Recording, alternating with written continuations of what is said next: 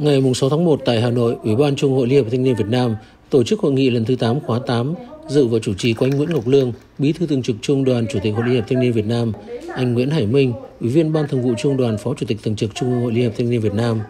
Tại hội nghị, các đại biểu đã thảo luận các nội dung báo cáo tổng kết công tác hội và phong trào thanh niên năm 2022, chương trình công tác hội và phong trào thanh niên năm 2023.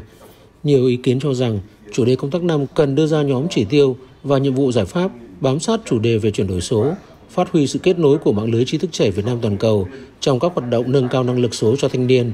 Bên cạnh đó, hội tăng cường kết nối với các bộ ban ngành khác để tham gia đóng góp vào chuyển đổi số. Tại Đại hội đoàn toàn quốc lần thứ 12 vừa qua đã nêu cao khẩu hiệu về khát vọng. Vì vậy, hội cần có nhóm giải pháp khơi dậy khát vọng cống hiến của thanh niên.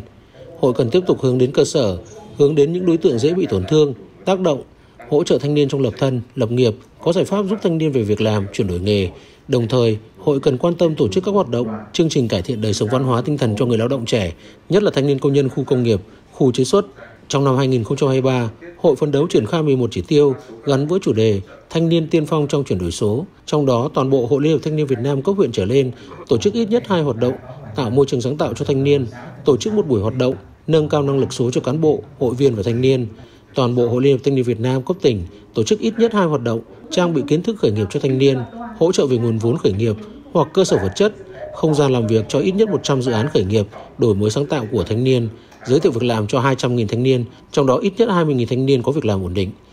Hội nghị đã thống nhất chủ đề công tác năm 2023 là thanh niên tiên phong trong chuyển đổi số. Với tên gọi này sẽ thể hiện được tính hiệu triệu cao hơn, phát huy đúng vai trò xung kích của thanh niên theo đúng tinh thần chỉ đạo của Tổng Bí thư Nguyễn Phú Trọng tại Đại hội đoàn toàn quốc lần thứ 12 và đúng với một trong ba nhiệm vụ đột phá của nhiệm kỳ 2022-2027.